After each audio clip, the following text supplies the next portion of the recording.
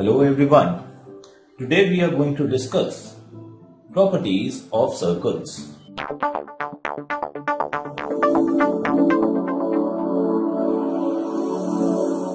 Now first we have a first theorem related to circles which is in a circle a line drawn from center of the circle perpendicular to a chord bisects the chord. Now what is the proof of this theorem? We draw a circle. This is a center O. And this is my chord AB. Now what I have is given circle with center O and chord AB. Now the theorem said line drawn from center of a circle perpendicular to a chord. What do we mean by this? OD is perpendicular to A.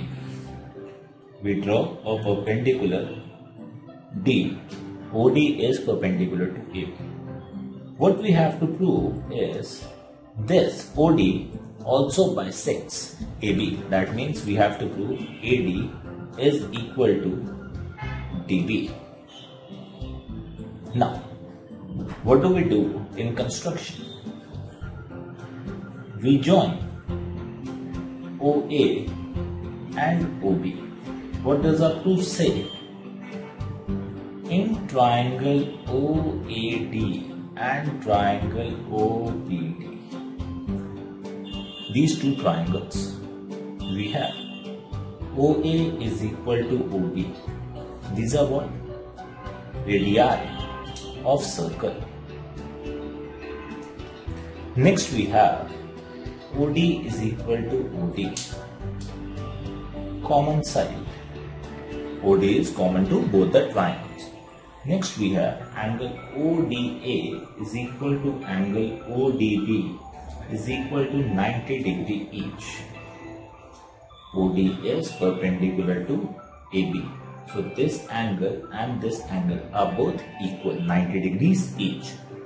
Thus we have triangle OAD is congruent to triangle OBD by RHS congruency. Now RHS congruency is right angle hypotenuse side congruency. Right angle came, hypotenuse came and the third side came.